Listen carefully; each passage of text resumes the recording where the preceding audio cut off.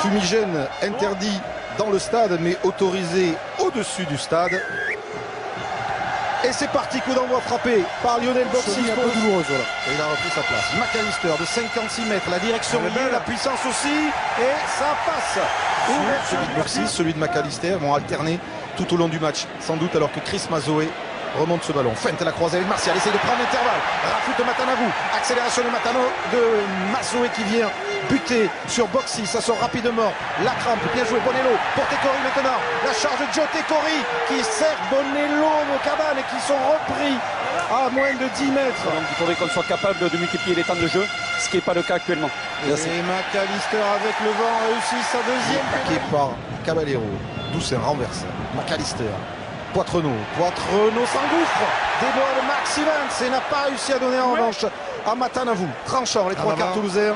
En avant. Pierre Bernard, vite vite on revient sur le coup de pied rapide de Et Bernard qui va ouvrir le score en faveur. de- C'est lui qui plaque encore ici Johnston, mais il y a un avantage en cours pour les Toulousains. Du coup on va tenter le drop. Non.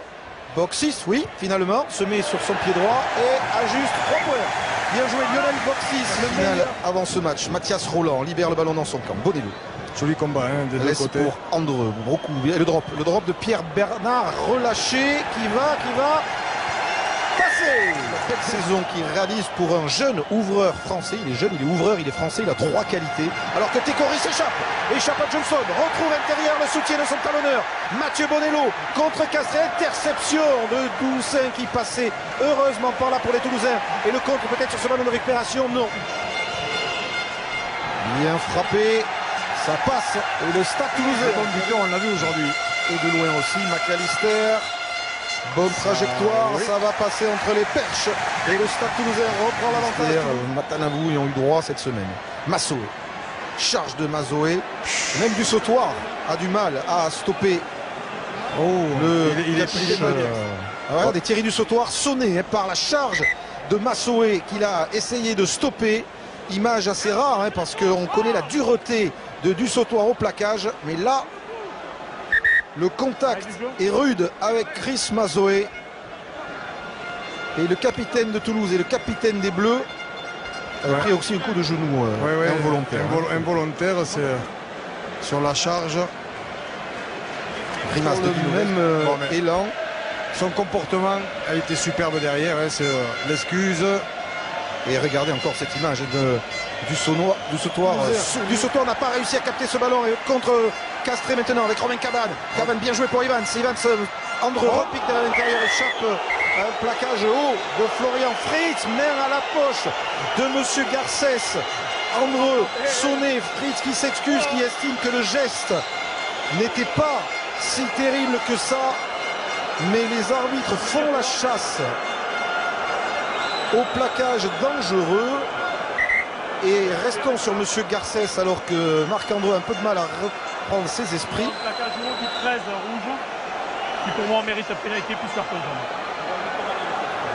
Et Monsieur Cardona confirme, autrement dit, premier, j'ai pas fait exprès, on lit sur les lèvres de Florian Le carton rouge. Ah oui, il y a- Alors, on voit qu'il le prend vraiment au visage. il y a la puissance. euh, il faut être solide là, avoir de, des bons, être bien musclé. Crochet intérieur. Et là, il est pris sur le crochet. Florian Fritz, il veut le prendre trop haut. Souvent des gestes réflexes involontaires. Il avait attrapé Evans d'abord, et puis Andreu. Romain Martial. Chandelle. Alors il sera dessous, et attention, il est très très grand, Romain Martial. Il a failli capter ce ballon. En avant. En avant, McAllister, Poitrenaud. Il provoque à chaque fois, regardez, et passe Il après passe après contact. contact avec euh, du sautoir lancé, pris par la crampe. Il a récupéré. Doussin éjecte sur Mmh, Foxy, ça, ça peut être dangereux. Picamol maintenant. Louis Picamol rentre dans la ligne. Rafute du Calcon, repris par le pays international qui réussit à le mettre au sol. Mais il est ouvert, ça ressort très rapidement pour les Toulousains. Sur les extérieurs, Maestri, plaqué par Bonello. Nouveau temps de jeu avec un renversement. Doussin. Non, Doussin pris par Cabane. Faute et avantage en cours pour le stade toulousain. Albacete, Chargera, mis au sol. Servat. Dans l'axe encore. Et le drop qui va être tenté. Maestri pour Poitrenaud. Poitrenaud, petit coup de pied à suivre pour lui-même. Et c'est Romain Tellet qui jaillit pour lancer un contre mené par Tekori maintenant. La limite de l'en avance. Euh, ballon pour Max Evans, l'écossais. Max Evans qui repique vers l'intérieur. C'est une occasion d'essai pour le Castre Olympique. Evans qui va y aller tout seul. Max Evans. Max Evans malgré Vincent Clair qui, qui, qui ne marque pas? Incroyable. Incroyable sauvetage de Vincent Clair. Et Matanabou qui aplatit. Invraisemblable retour de Vincent Clair. Monsieur Garcès demande la vidéo. Il nous a semblé que Claire, de manière époustouflante, a repris Max Evans. Et c'est oui ou non Demande l'arbitre Philippe Sella. Monsieur Gauzin va voir les images que nous allons lui proposer. Vincent Clair a-t-il oui ou non sauvé le camp de Toulouse Oui, oui, il ne touche pas le sol, il ne touche pas le sol et il n'aura pas touché le sol.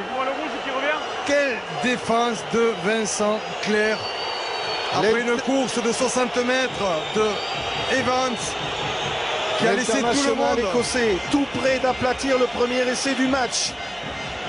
N'était Vincent Clair revenu de son aile pour rattraper Max Evans et oui, sans doute indiscutablement l'empêcher d'aplatir. Ce sera le geste défensif de cette demi-finale. L'arbitre vidéo veut, prendre d'autres informations, demande éventuellement d'autres axes et puis savoir ce qui se passe après. Hein. C'est Matanavou qui rentre dans son embut et qui aplatit. Ce qui veut dire. ça veut dire mêlée à 5 mètres. Mêlée à 5, introduction Castres. En tout cas, l'essai ne sera pas accordé. Et je rappelle, à la mi-temps, avec euh, Marc Livremont, Fabien Pelouse aux côtés de François, on reviendra évidemment sur cette phase de jeu, Philippe. Et peut-être que même Matanavou est en position de hors-jeu par rapport à la zone euh, de plaquage. Alors, écoute, attention. Il a récupéré ce ballon. Alors qu'il aurait dû revenir. Donc, pénalité plus carton jaune. Pénalité, bien vu Philippe Sella. Très bien vu Philippe Sella. Matanavou, carton jaune. Il y a un ruck, vous faites pas le tour pour revenir à la zone de plaquage pour jouer le ballon. Non, on attend. Non. Non. Non. Carton jaune. Pénalité plus carton.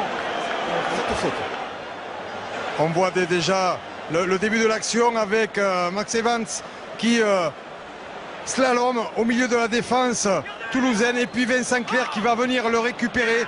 Il va y avoir, voilà, donc là, ici, un ruck, du ruck. On voit Matanavou qui arrive du camp castré.